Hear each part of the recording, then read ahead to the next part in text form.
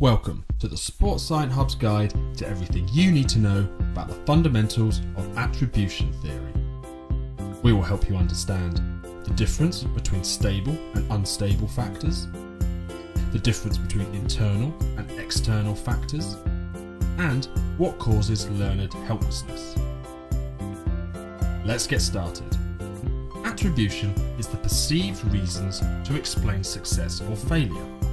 For example, the athlete played bad because the weather was cold and wet.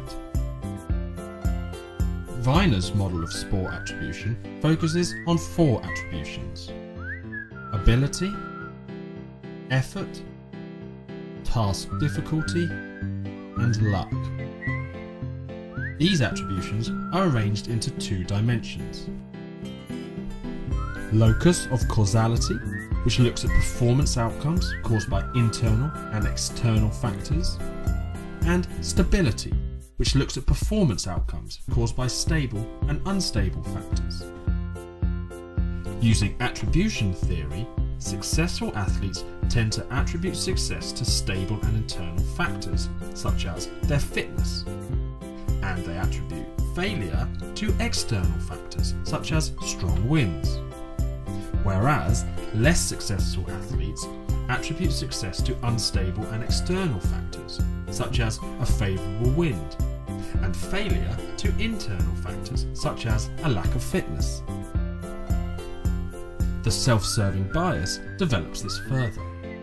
Because failure is attributed to avoid internal and stable factors, factors are attributed to protect self esteem rather than reflect the reality of the situation.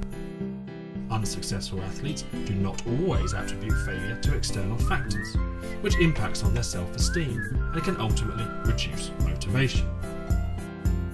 Repeated failure can lead to learned helplessness. This looks at feelings that are experienced by an individual when they believe that failure is inevitable because of past experiences.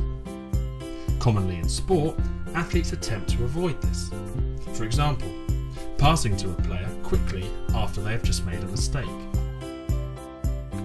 In order to avoid learned helplessness, an attribution retraining process must happen. A change from the attribution, such as lack of ability, must change to the attribution poor weather.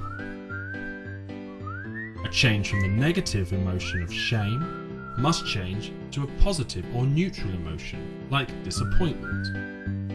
And a change from the behaviours of helplessness and avoidance of competition must change to the behaviours of persistence and seeking out competitions. Thanks for watching. If you liked what you saw, then please help others find our videos and hit the like button below and subscribe to our channel now. You can also find us on Facebook, Twitter, and Instagram. Don't forget to also visit our website www.sportsciencehub.com for more videos on everything you need to know about sports science. See you soon.